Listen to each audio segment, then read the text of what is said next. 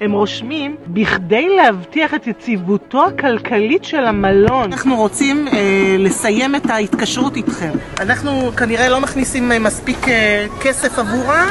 ואז הם יפנו אותנו. זאת אומרת, תביני, אנחנו עכשיו הולכים להוציא את הילדים מהמסגרות, להוציא את עצמם, בעלי מצא פה עבודה, אני, הוא הולך ל- לשים מכתב, הבת שלי מצאה פה עבודה, הולכת לשים מכתב, ועכשיו נלך לחפש איפה לאן ללכת. הכלה שלי אמרה לי ברירה, רוצים לפנות אותנו.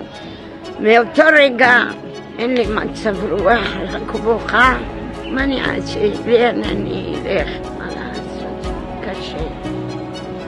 הנה, ילד שאמור ללמוד, תסתכלי מתי יוקם, אחד בצהריים. הם פשוט אבודים. יש פה תלמידים שעוד לא התחילו את שנת הלימודים שלהם.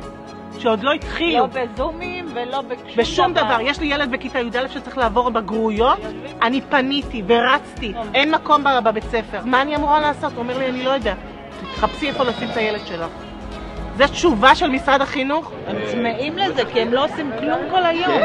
אין להם חברים, הם לא מכירים אף אחד, זה לא...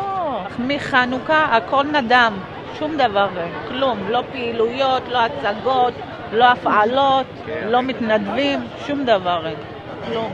אף אחד לא בא ושואל אותנו מה קורה איתנו. שלושה חודשים אנחנו משלמים כסף על כביסות כדי לכבס כביסה, אני צריכה לשלם 50 שקלים למכונת כביסה פה. כן, כן, כן. הממשלה עושה טובה שהיא נותנת לנו כמה שקלים, לא מעניין אותם שום דבר. את הממשלה, את שר החינוך, את מי שאת רוצה, את ראש עיריית קריית שמונה, אף אחד לא מעניין אותו. ילד חייל עושה שבוע-שבוע. הוא בא בשבוע שאני צריכה לתת לה כסף, ואני אומרת לו שאין לי לתת לו. only.